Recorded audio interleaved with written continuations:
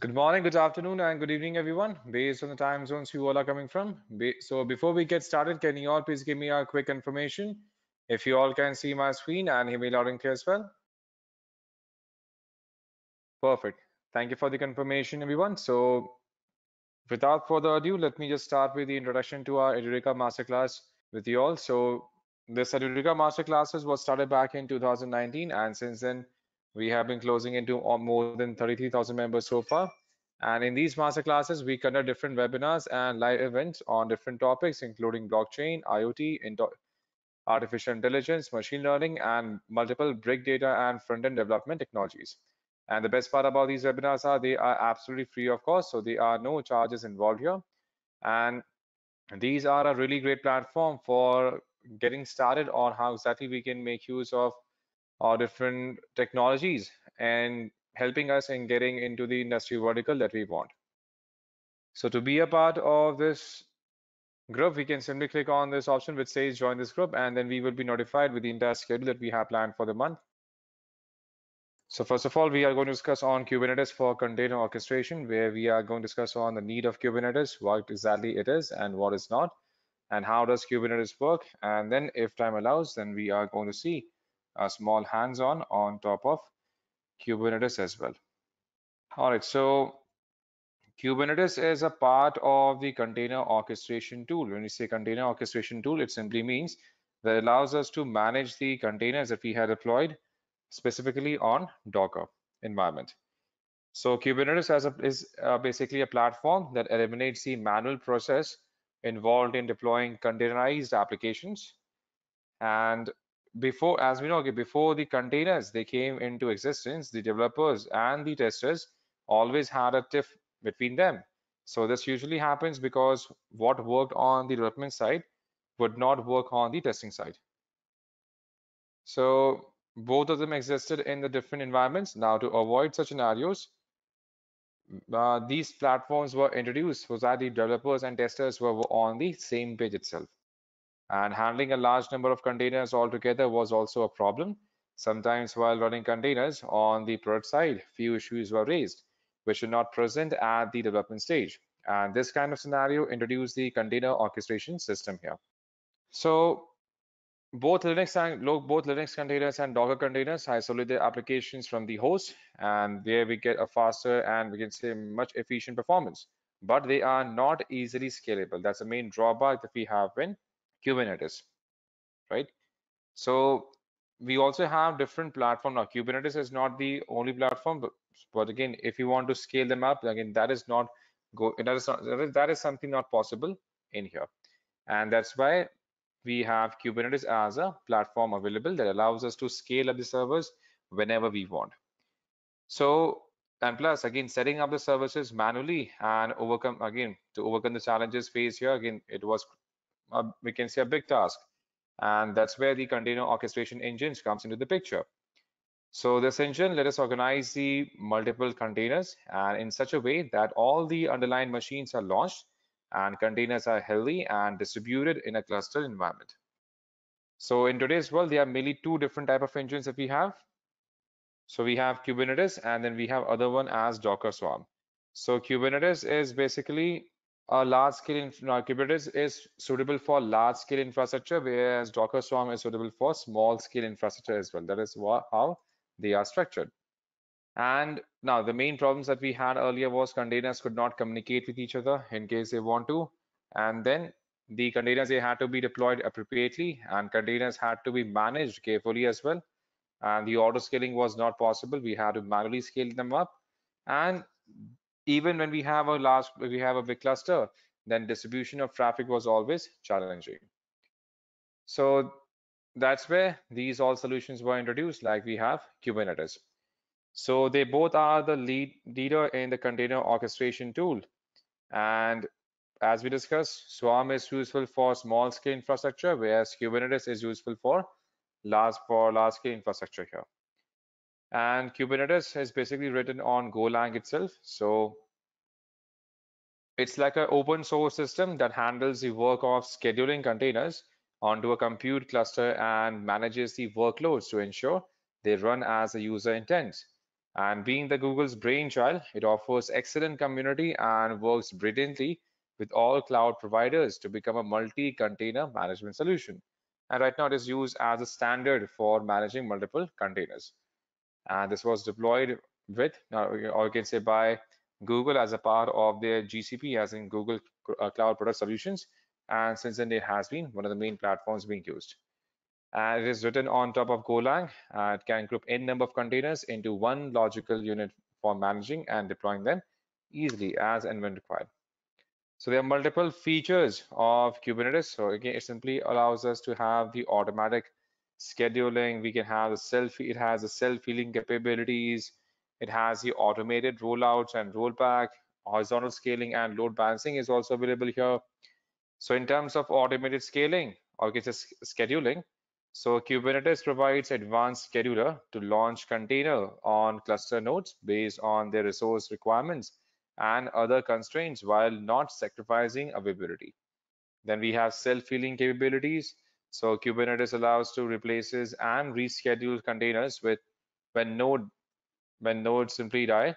And it also kills containers that don't respond to user-defined health checks and doesn't advertise them to clients until they are ready to serve.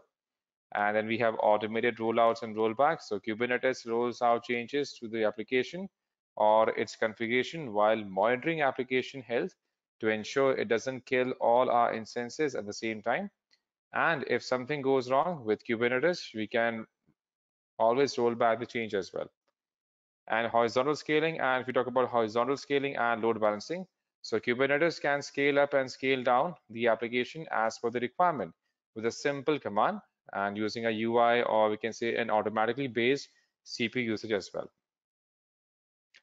Now, in terms of Kubernetes architecture, we have, again, it is divided into master nodes and the slave nodes as well, where master can simply manage the entire cluster and can simply distribute the job among different workers nodes worker needs uh, we can say nodes as well. So what kubernetes is not so again it is not going to be it is not meant to be compared with docker because kubernetes simply allows us to manage the docker containers. So there's no point of even thinking about comparing docker with kubernetes docker is a tool for containerization. We don't create containers by using kubernetes. We create we simply allow kubernetes to manage containers deployed on top of docker right? And then is up for applications with simple architecture. If we have a simple architecture then we don't bother about even even thinking about kubernetes. Then we can use a small scale infrastructure management tool like we have swarm offered by docker itself? And then it is for containerizing applications. That is not the case. Kubernetes is the orchestration tool. It is not a containerization tool like docker. And that's why it can be used for work for managing containers but not to create them. We don't use it for creating the containers. That's how it is structured. And then what Kubernetes actually is, it is the best solution for scaling up containers. It is backed by a huge community and it is like a container orchestration platform that we have. And then it is robust and reliable as well as compared to its counterparts, especially when it comes down to large scale infrastructure. Now, though it is not easy to install, it is one of the most complicated systems to install in any platform. But again, the complexities, they always surpass the advantage that we have in terms of managing large scale infrastructure, all by using Kubernetes.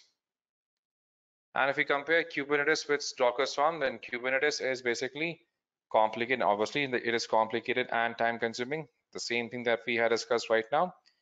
But again, it is useful for large scale infrastructure here. And again, the installation process of Docker Swarm is really easy and it is fast as well. We have the GUI available for Kubernetes, which is not available by default for Docker Swarm. GUI as in, again, we have a complete graphical dashboard through which we can see the status of all the containers that we may have deployed.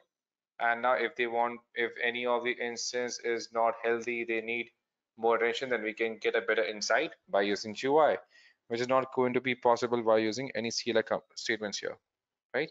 And then in terms of scalability, scaling is low as compared to other platforms. Scaling is always low as compared to Swarm. And scaling is again faster than, uh, than Kubernetes. Obviously, it is logical because it is used for small scale deployment. So obviously scaling is going to be much faster here. And then in terms of load balancing, so load balancing requires manual service configuration, whereas it has the inbuilt load balancing technique available for small scale cluster. And then for updates and rollbacks, so again, the process has to be scheduled. So again, there is a, a process scheduling service to maintain services while we are updating so that okay so suppose if you have 100 containers again those containers which are currently currently getting updated they are not going to be part of load distribution whereas all the other components are going to be part. So they can take the additional load. And then here only shared with in terms of data volumes they are shared with the containers in the same pod. Pod is like collection of containers. And here we can share the volume with any other container because there is no concept of any pods here in swarm whereas in terms of logging and monitoring we have the inbuilt logging and monitoring tools available. Whereas in docker swarm we have third party logging and monitoring tools currently available here. That's how it simply works. All right.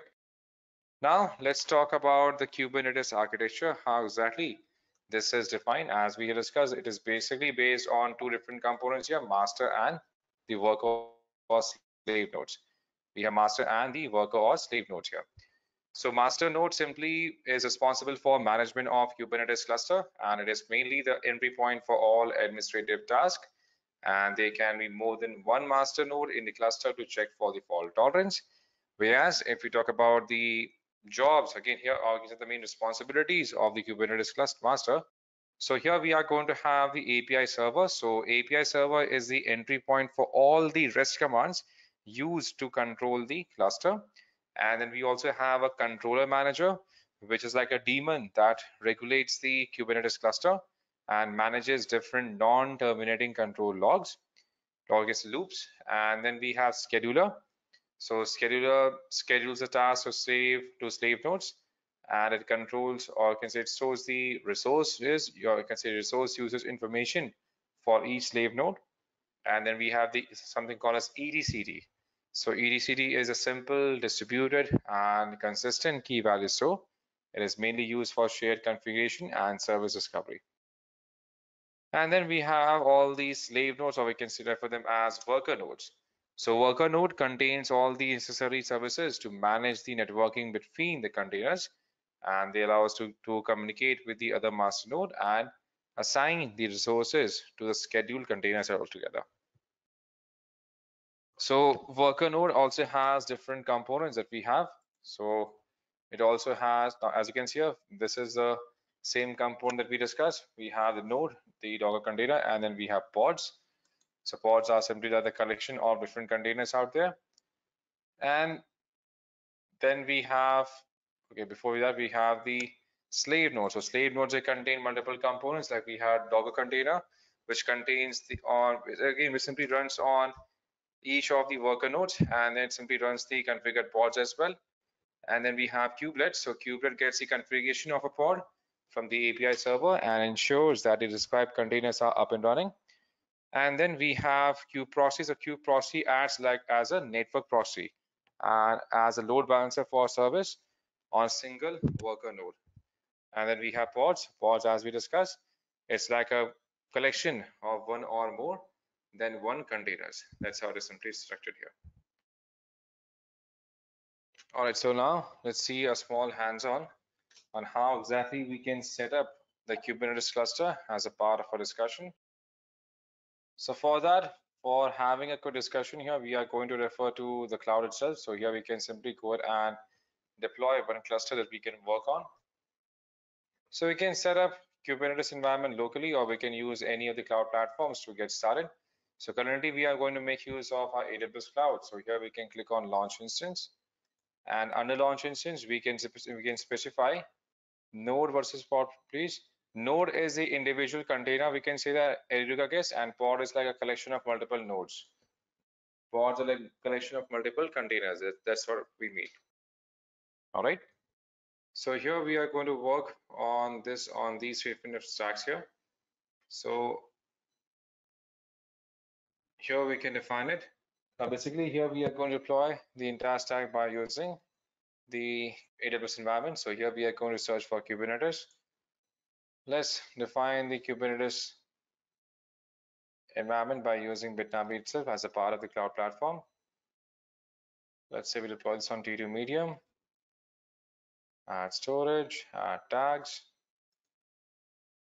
So Kubernetes is going to be is going to answer on this given port here. So we have to make sure we do define the access to these ports and that too, if we are going to make it public, then we can answer this from anywhere so that they will be able to access, they will be able to access the dashboard from anywhere. And once we are done, we can go ahead and click on launch. Let's choose a keyword that we may have the access to.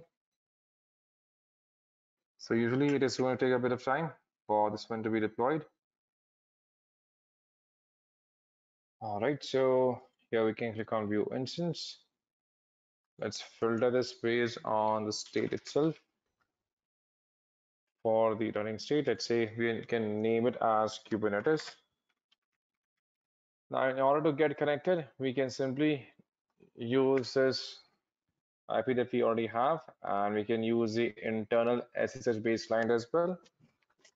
So we already have defined, we have changed the modification of the key file that we have downloaded that we are going to make use of. And this is the IP address for the instance that we have deployed. So we are going to get connected to this instance by using the IP itself. Okay, let's just cross check if we have given the access to SSH for this one or not. So as you can see now we have connected to the instance by using a simple SSH based client. And again, if you want to use any other client, for example, if you're running Windows or let's say a Windows platform, then you can use, let's say, MobaXterm or PuTTY in order to get connected, which is one of the most popular platforms for SSH. And we can configure Kubernetes on any specific platform, or if you want, we can simply start by downloading all the packages and configuring them as and when required. So sometimes it usually takes a while for the entire instance to be configured. All right. So if you want to see how we can deploy this locally, so we can simply go ahead and get connected to any dummy Ubuntu instance as well. So we can go ahead and launch one another instance. So I can show you the process, how exactly it works manually. So if you're looking to install the system manually, then we can we can give the custom access to all TCP protocols for now from anywhere. Let's launch it by using the same key pair. So here we can define a simple Ubuntu instance. And if you are looking to work on Ubuntu, so here we can run the same commands here. So here we have to verify the key file as what we had defined under downloads. And then we had to specify the key file which is by the name of may18.pm and then we had to use sshi then same way we had to find location or the same key file that we have downloaded. So under downloads we have may18.pm and here we have the username that we have defined and then this is going to be based on the IP address which you can fetch here.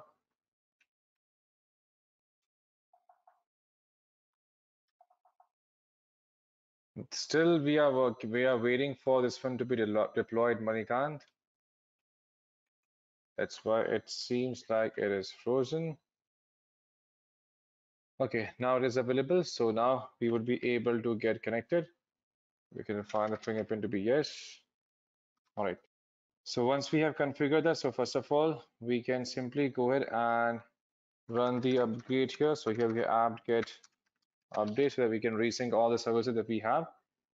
And first of all, we also have to install and set up Docker as well. So again, they all can be fetched from the same repository that we already have the access to.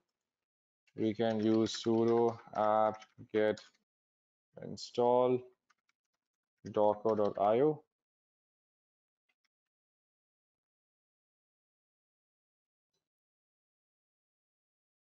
And once we have configured that, then we are going to specify the Docker version as well. Then we can define Docker just to check if Docker has been enabled or not. And then we have to enable Docker as well as a part of system CTL. and then we can simply enable Docker as a service.